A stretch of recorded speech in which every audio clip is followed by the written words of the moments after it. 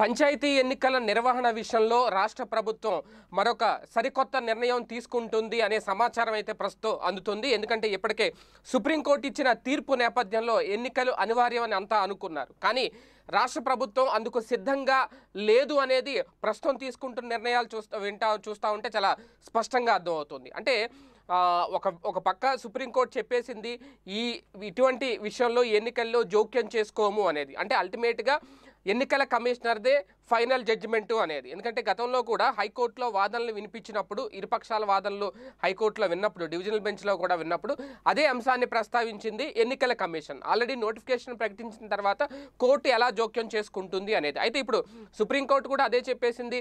So ఈ నేపథ్యంలో ఒక రకంగా ఎన్నికలకి గ్రీన్ సిగ్నల్ వచ్చేసింది. అయితే రాష్ట్ర ప్రభుత్వం మాత్రం ఈ వ్యవహారంలో ఒక పక్క కేంద్ర ప్రభుత్వం చెబుతోంది వ్యాక్సినేషన్ చాలా ఇంపార్టెంట్. వ్యాక్సినేషన్ ముందు ఆ ప్రక్రియ కంటిన్యూ పూర్తి చేయాలి. అనేది. ఇప్పుడు మరోపక్క ఆ, ఎన్నికలు నిర్వహించాల్సిందే అంటూ కోర్టు సుప్రీంకోర్టు గ్రీన్ సిగ్నల్ ఇవ్వడం. ఈ నేపథ్యంలోనే ముఖ్యమంత్రి వైఎస్ జగన్మోహన్ రెడ్డి గారు కేంద్రానికి లేఖ రాయబోతున్నారు. ఇప్పుడు ఎన్నికలు నిర్వహించాలా? వ్యాక్సిన్ ప్రక్రియ కొనసాగించాలా? ప్రజల ప్రాణాలు ఇక్కడ ఇంపార్టెంటా? లేదంటే ఎన్నికలు ఇంపార్టెంటా? అనే అంశాన్ని కేంద్రమే చెప్పాలి అంటూ ఇప్పుడు బంతిని ఇప్పుడు కేంద్రం కోర్టులో విసరబోతున్నారు ముఖ్యమంత్రి వైఎస్ జగన్మోహన్ రెడ్డి గారు అనేది. ఆల్రెడీ సుప్రీంకోర్టే జోక్యం చేసుకోము అన్న తర్వాత ఇప్పుడు కేంద్రం జోక్యం చేసుకుంటుందా?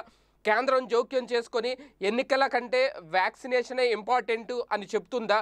లేదంటే కేంద్రం ఒకవేళ వ్యాక్సినేషన్ ఇంపార్టెంట్ అంటే ఎన్నికల ప్రక్రియ నిలిపివేయడం సాధ్యమవుతుందా? అప్పుడు కోర్టు ధిక్కారణ కిందకు వస్తుందా రాదా? ఇలా చాలా సందేహాలు ఇప్పుడు మళ్ళీ తెర మీదకు వస్తున్నాయి. రాష్ట్ర ప్రభుత్వం తీసుకోబోతున్న నిర్ణయంతో. మరి నిజంగా ఇప్పుడు జగన్మోహన్ రెడ్డి గారి ప్రభుత్వం కేంద్రానికి లేఖరేస్తుందా? నరేంద్ర మోడీ గారిని ప్రశ్నిస్తుందా?